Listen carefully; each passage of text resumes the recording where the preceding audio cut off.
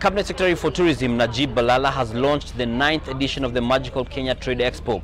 The event, which will run concurrently for three days with the fourth, for, for, until the 4th of October, has attracted a total of 139 buyers, recording an increase from last year's expo.